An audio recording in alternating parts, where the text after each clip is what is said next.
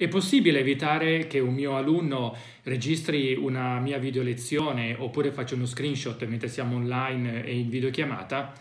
La risposta è sì e no, più che altro dipende, ni, ci sono dei distinguo. Questa è una domanda che mi viene posta da molti docenti in quest'ultimo periodo perché vista proprio l'esplosione della didattica a distanza e quindi anche delle video lezioni, eh, la preoccupazione sorge e non è ingiustificata, tant'è vero che infatti sono, mm, ci sono già dei primi eh, casi di cyberbullismo perpetrati nei confronti dei professori che avvengono proprio in questo modo, ossia ragazzi che registrano una video lezione oppure pezzettini di video lezioni e poi le ripubblicano online, le ricondividono su Facebook in modo da deridere il professore. Poi in alcuni casi questi ragazzi sono stati anche individuati, in altri casi sono stati presi provvedimenti e così via. Di fatto la preoccupazione è più che legittima.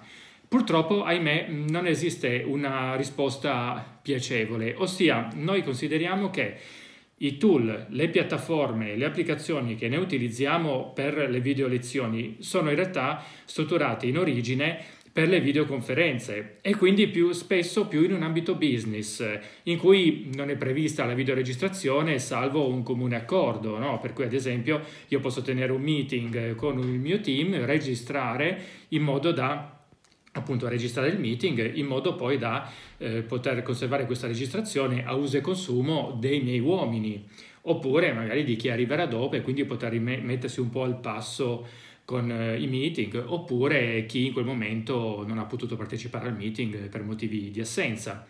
Quindi non prevedono la possibilità di bloccare uno screenshot oppure mm, una registrazione. Esistono alcune piattaforme, ma non sono le più famose comunque, in cui se io effettuo uno screenshot mi arriva una not- cioè dall'altra parte arriva una notifica.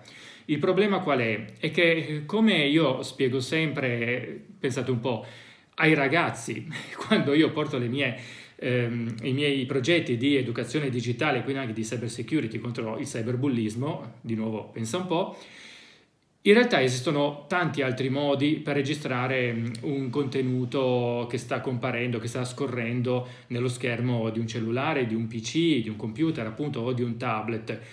Esempio, che non comprendano appunto uno screenshot o la registrazione dello schermo. Ad esempio, io posso anche banalmente prendere un eh, cellulare e di nascosto da sotto il banco facendo in modo da far eh, emergere solo ed esclusivamente l'obiettivo, quindi di nascosto, opportunamente angolato in modo che la webcam del, del dispositivo che sto usando in quel modo non riprenda quella parte lì, ma io da sotto comunque in qualche modo riesco a riprenderla.